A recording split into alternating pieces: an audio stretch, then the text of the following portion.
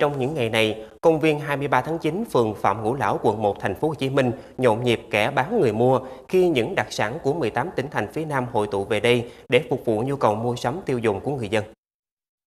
Gian hàng của tỉnh Đồng Nai có 17 doanh nghiệp, hợp tác xã tham gia. Đây là những sản phẩm đặc sản nổi tiếng của địa phương, đạt chuẩn 3 sao, 4 sao, được tỉnh hỗ trợ tham gia xúc tiến thương mại để tiếp cận thị trường 10 triệu dân thành phố Hồ Chí Minh.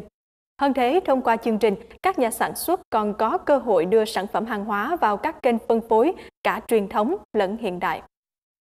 Thưa quý vị và các bạn, trong điều kiện mà kinh tế khó khăn, thị trường xuất khẩu ờ, thu hẹp, các doanh nghiệp đã tìm về thị trường trong nước. Hội nghị xúc tiến thương mại do Bộ Công Thương phối hợp với các tỉnh thành trên cả nước tổ chức là cơ hội để các doanh nghiệp tìm về với thị trường 100 triệu dân có sức mua đang lên. Tham gia chương trình kết nối giao thương các tỉnh thành phía Nam tại thành phố Hồ Chí Minh, Hợp tác xã Dịch vụ Nông nghiệp Trường Phát huyện Nhân Trạch mang 15 loại sản phẩm đạt tiêu chuẩn ô cốp 4 sao của tỉnh đến trưng bày giới thiệu với người tiêu dùng thành phố.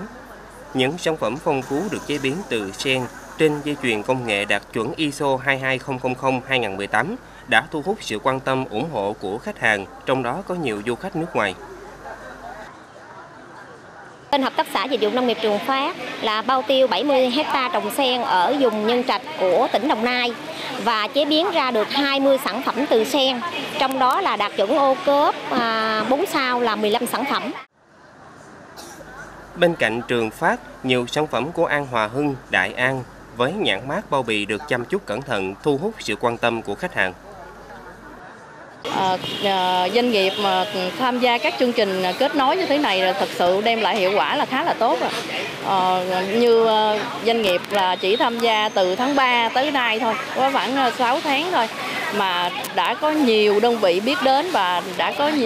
nhiều nhà phân phối ở các tỉnh miền Tây và đặc biệt là đã vào hệ thống của Cốp Mắt à, trong cái đợt mà kết nối ờ, cung cầu Đông Nam Bộ hôm tháng 3 vừa rồi. À, hàng năm thì à, tỉnh chúng ta đều ban hành các cái kế hoạch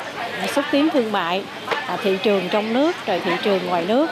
à, và đặc biệt là năm 2023 à, để tìm kiếm thị trường cho các doanh nghiệp thì à, tỉnh Đồng Nai là cũng có tăng cường các cái chương trình xúc tiến thương mại à, trong nước à, để à, giúp cho các cái doanh nghiệp tìm kiếm được thị trường. Trong lúc kim ngạch xuất khẩu giảm hơn 19% so cùng kỳ, thì tổng mức bán lẻ hàng hóa 6 tháng đầu năm tăng trên 14%.